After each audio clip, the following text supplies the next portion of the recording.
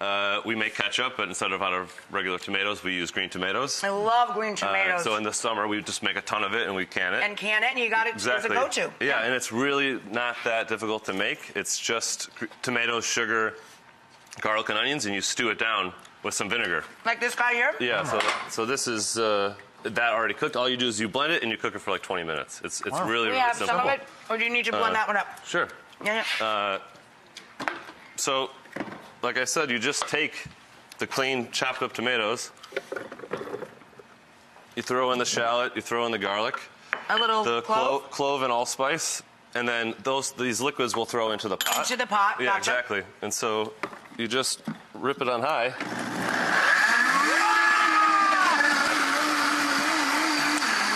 That simple.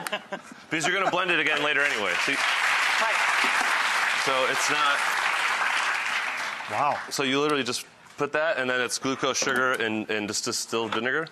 Glucose, vinegar, and a little sugar. Yep, that's it.